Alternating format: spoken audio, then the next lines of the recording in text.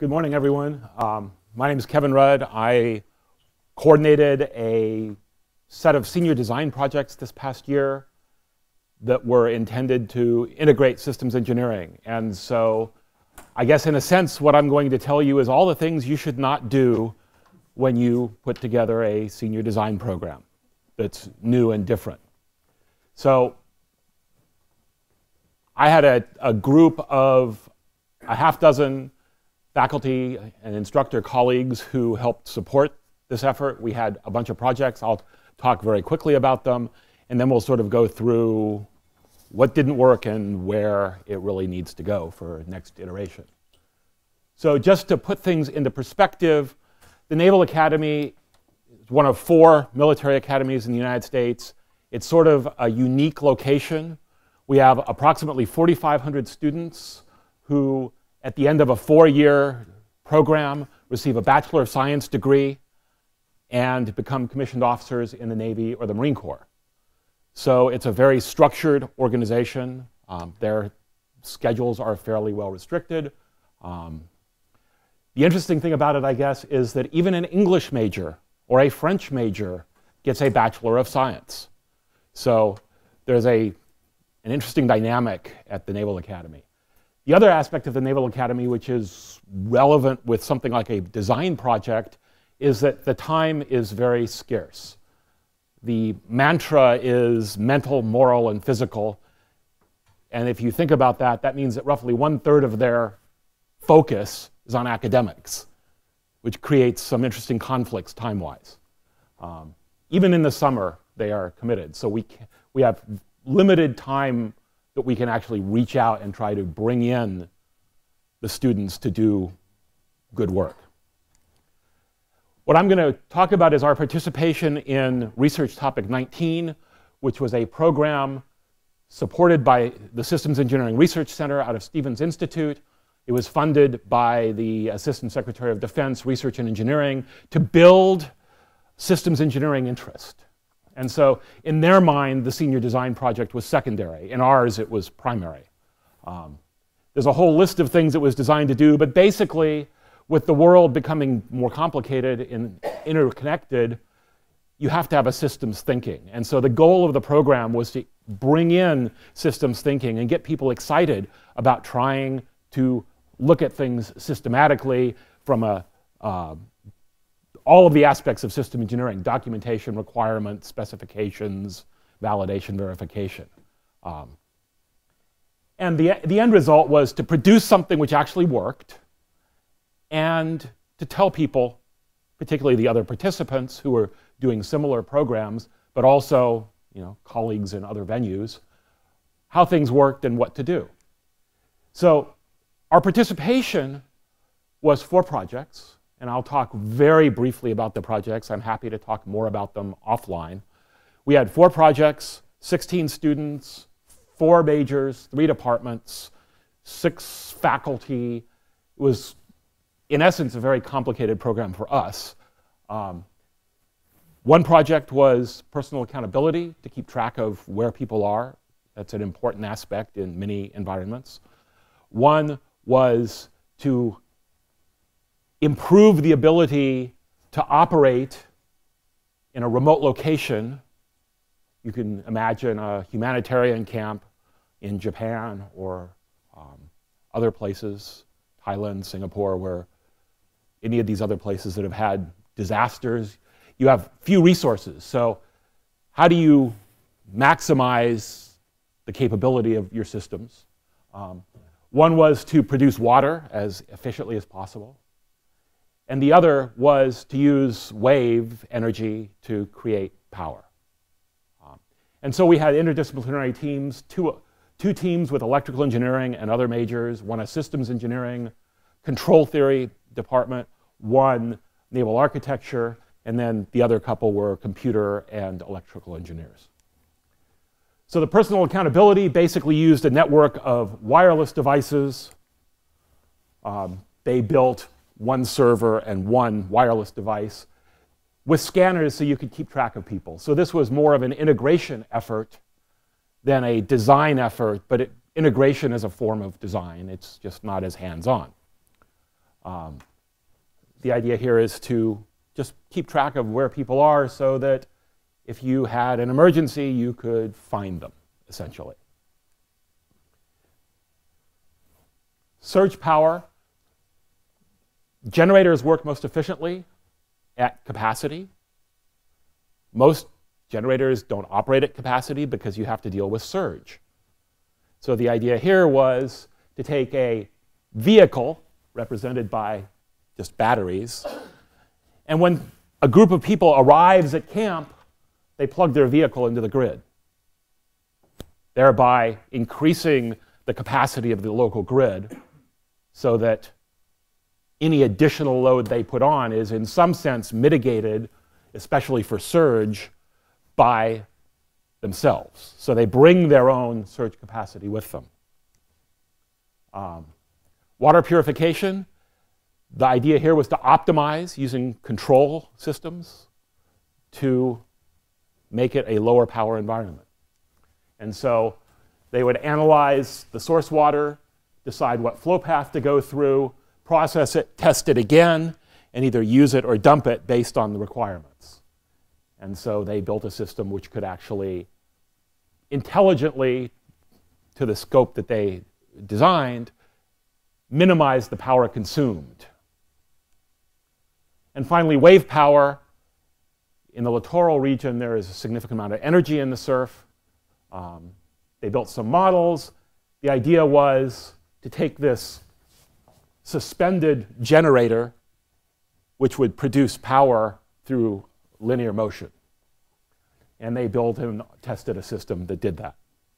So, what, what's common across all these systems is the notion of what are the requirements, what are you going to build, and how are you going to test it when you're done? And in fact, this is an example of some of the testing they did, mechanically moving the device and measuring the output to see how did their device work. So we had four projects, 16 students. What were the challenges? The biggest challenge was we found out about this program essentially in the summer.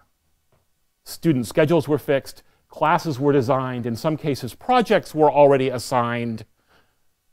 And so we had to scramble to figure out how to do interdisciplinary projects and integrate the systems engineering coursework.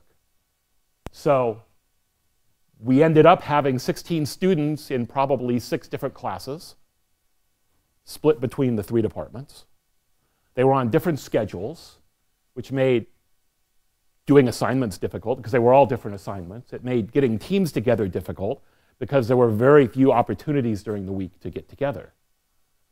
Um, an artifact of having no time to plan in advance. Systems engineering integration was also difficult because we had no ability to really inject systems engineering into the coursework. So our solution was to go out and acquire some external systems engineering capital and have the students do that on their own as an independent study course. Um, the end result is that doing real world projects is great. I'm a big fan of competition projects, robot projects, things of that sort. They're nice constrained designs. But the interesting thing about a real world design is that it gets them excited about their design actually going somewhere and potentially doing something useful. It's, all, it's great to say, I beat everybody else in my class, but to say, I sent my design to a humanitarian relief camp and it produced water for them is very motivating.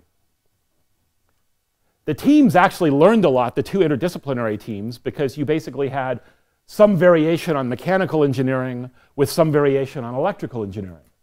And so there was some cross pollination that doesn't normally happen in our department centric design projects. So that was a really good thing. Having students never getting together because they're always in different classes, that's a bad thing. That's a really bad thing. It made life very difficult.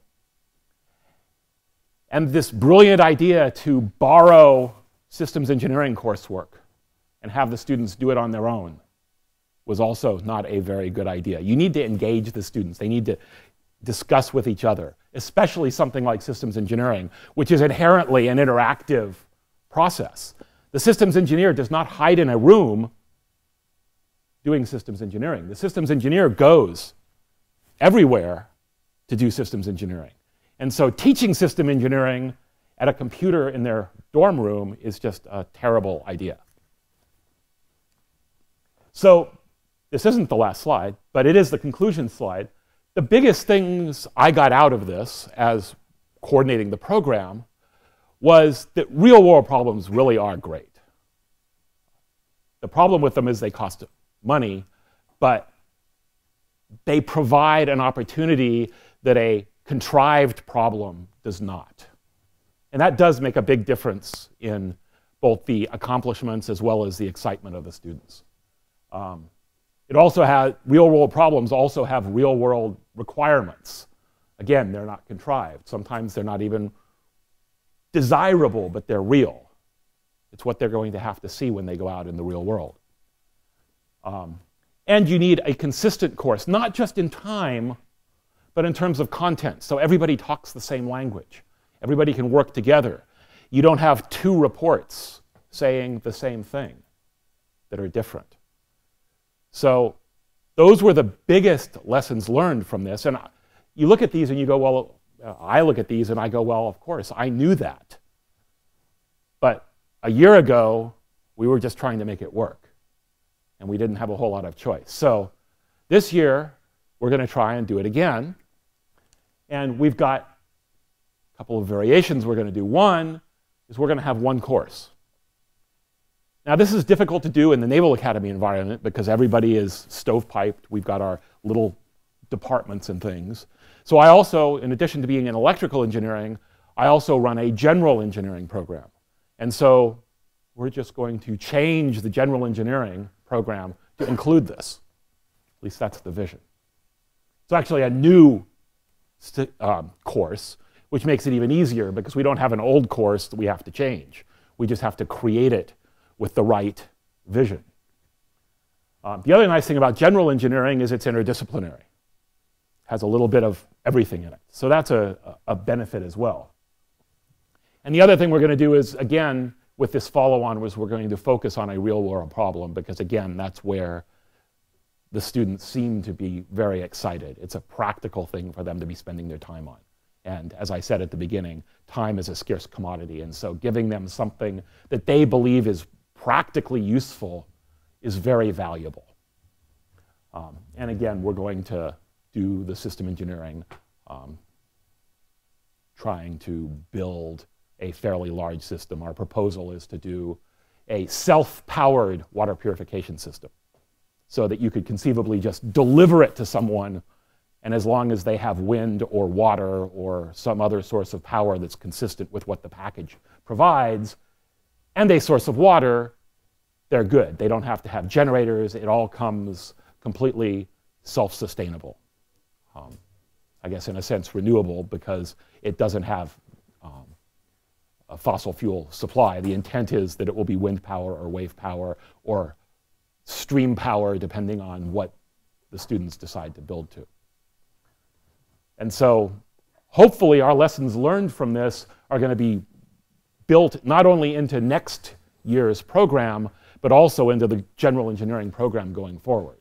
So that was our experience, and I'm happy to answer any questions that you might have on why we had such a uh, complicated experience doing something which realistically seems like it should be so simple. We, we have recovered some time, so is there any question? Yes. Thank you. Uh, I've run a similar course this year and I've run into the same problems. An additional challenge we had was grading. Mm -hmm. uh, there were different uh, cultures from the different departments did you run into that problem? Um, well, I would, I would say that in, in a sense we ran into the same problem, except that for us, the individual, the students were in the department courses. So an electrical engineer was in the electrical engineering course. The weapon systems engineer was in the weapon systems course. The naval architect was in the naval architect course. So it was an issue because they were all working sort of on multiple things with different schedules, but they were being graded by their own standards. And so that meant that two people on the same team were being graded to different standards in the first part of this sequence. In the end, they were all on one project. And so for the second half of the course, they had one of the people on the first slide grading them as a group. And so in the second half, we had no conflict at all because everybody was essentially in the same group. That's mostly true, um, but that's sort of the solution that we came up with last time. Next time it will be better because there will be just one course. But yeah, that's a, that's a real problem, assessment across different groups. Any other question? You have emphasized mainly the, the challenges for the students and also the, the overall outcomes of the project. But could you just comment upon the perception from the faculty members involved? Because on one side, this is quite an unconventional approach. You might receive more time and it's more expensive for them. And the second, it's by definition, as opposite to more conventional disciplinary. Uh, Right. Is it an open-ended design? How was the reaction? I guess resistance would be probably the, the, the simplest way to say it. Um, that was another reason that moved me to do the web based system engineering course because none of the departments wanted to include that information. We already have our course, we're not going to change it. Just because you're bringing in projects and funding, that's not our problem. And I think that's pretty typical. I've seen that before. Um, another reason that I'm focusing on general engineering, that's something that I control, that's something that is very um, single, so I only have to deal with one thing. Um, and so changing things, there's a lot of inertia in my experience in academia. And adding something new, even if it's better, maybe it isn't, it's difficult. And we tried to do this in a month. It really takes years to sort of move this into a curriculum. And hopefully, by starting fresh, we'll at least be able to start going the right direction. But yes, from the faculty perspective, it's very difficult to have faculty change what they're doing, adapt to things. Thank you very much. you. So we have, we have to proceed.